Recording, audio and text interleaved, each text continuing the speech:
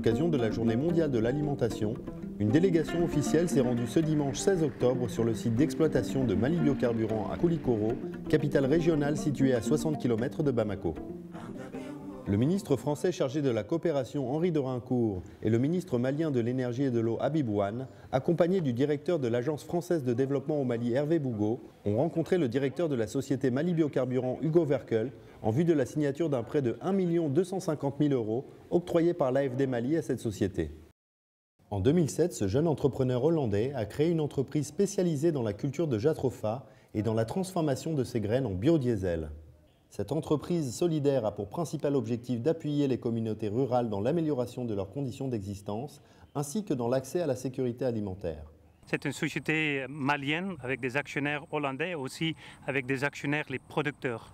Donc la société a une stratégie de produire avec les producteurs le jet et nous on a une activité industrielle, ça c'est l'extraction d'huile et la production de biodiesel pour le marché local. C'est un, produit de meilleure qualité à moindre coût et donc euh, comme ça on, on essaie de contribuer donc, à créer de valeur ajoutée au Mali.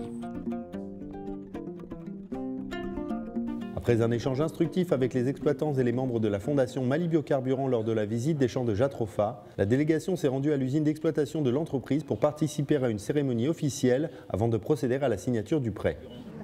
La France aujourd'hui veut absolument et modestement essayer d'aider toutes celles et ceux qui se mobilisent pour mettre en œuvre une nouvelle conception d'une politique de développement.